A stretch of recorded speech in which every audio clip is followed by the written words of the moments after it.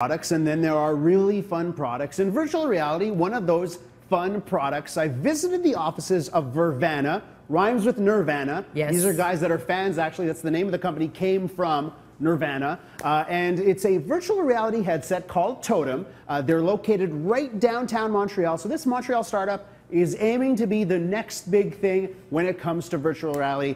I uh, visited with uh, CEO Bertrand Nepveu and the rest of the gang over there. Have a look. Here at Vrvana, their Montreal offices, Montreal startup. We're gonna do something cool here. I'm actually gonna do this interview while I have a goggle on my head. This is Totem, their virtual reality headset. Bertrand, uh, thanks for having us here. I'm gonna put this on. Why don't you tell me, what am I looking at here? So this is. Whoa, whoa, wait, hold on a second. Yeah, where am I? This is a new planet. so this is a futuristic place in a game called Technolust. I'll Yeah. give you the controller here. Yeah. So there you, you can go. move around. And Whoa. so you have to find clues and progress in the game. And if for anyone at home now who's watching this, as I move my head, tilt my head up, down, this thing is totally tracking me. How do you do that? How is this possible? So we're using uh, cell phone technology, meaning uh, we're using uh, HD screens and uh, accelerometer, gyroscope, magnetometer, so we can track uh, your rotations. Yeah. And one of our big advantages also is that we have onboard cameras, so we can track your lateral movement with the cameras too. Oh man. Okay, Bertrand, listen. Virtual reality. I'm sorry, I don't I'm even know. here. What, I don't even know where you are. I'm here, So I'm hopefully, here. I'm looking at you. Um, virtual reality.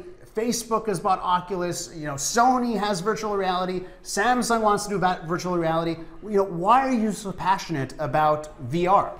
Because uh, I'm a hardcore gamer at heart, and uh, that was a passion of mine. So this all the, the, the project started with with that. So um, there's other players, but we bring a, a lot of different things. Uh, if you wear glasses, you can do your own focus. Um, we have onboard cameras, so let's say you want to look at me right now, you can Yeah. pu- push a button and see me. Okay. Um, we have hardware acceleration, so we do a lot of innovation that you don't have to be a big company to do.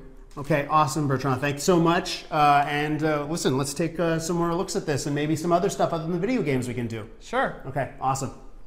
So, so there, there you have it. I was in another world. That's Does it why feel I- weird? it- I Like mean, on your head? You're somewhere else. You're moving. When you move, it moves. So it's When I really move, you awesome. move. And they like can that. program anything in Well, there. that's the interesting thing. So later on in the show, we're going to look at uh, Totem again, but not v- for video games, for other purposes, education, medical purposes. You could do a virtual reality surgery with it, or architecture. So pretty neat technology, and it's not just about video games. And I have to say, I watched a documentary once about how this is helping soldiers who are coming back from Afghanistan and Iraq sort of deal with PTSD and all that. Uh, A lot, of, a lot of uses for virtual reality, not just video games. Not Very, very just video games. Thank you so much, uh, Elias Mack.